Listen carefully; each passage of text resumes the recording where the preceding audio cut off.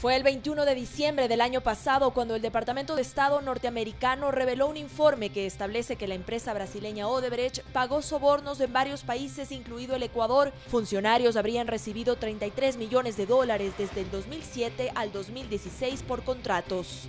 Un tema que puso en apuros al gobierno ecuatoriano y a sus autoridades. Vamos a pedir que se investigue y no nos importa que caiga quien caiga. Al menos 15 obras importantes han sido adjudicadas a Odebrecht en el Ecuador. La más grande actualmente es la construcción del metro de Quito por un monto de 2 mil millones de dólares. Tras el escándalo, el municipio quiteño empezó un proceso de fiscalización y el alcalde Mauricio Rodas viajó a Estados Unidos para recabar información, pero regresó sin nada contundente.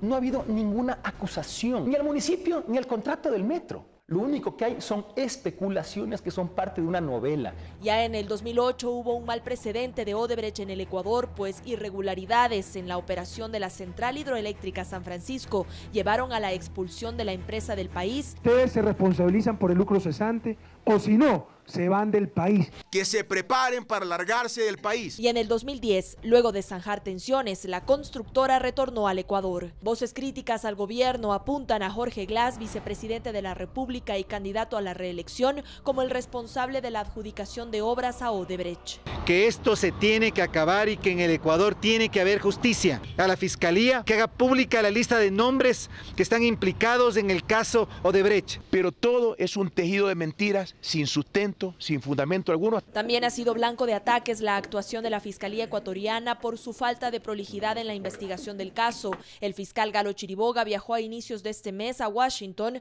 donde acordó la conformación de un equipo de trabajo y la reserva de la información. ¿Saben qué sabemos del caso de Brecht? ¿Saben? Yo sí sé. Sé quién es el corruptor. Es Odebrecht.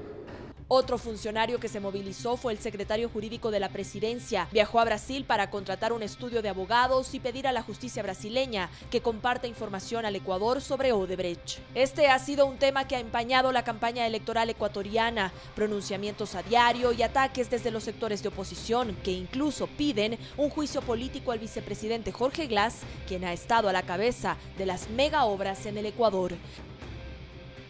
La lista con los nombres de los involucrados en el escándalo de coimas de Odebrecht en el Ecuador no ha sido revelada en medio de las exigencias de un entorno político complejo. Este es un informe de Ana María Cañizares para nuestro canal aliado, La Voz de América.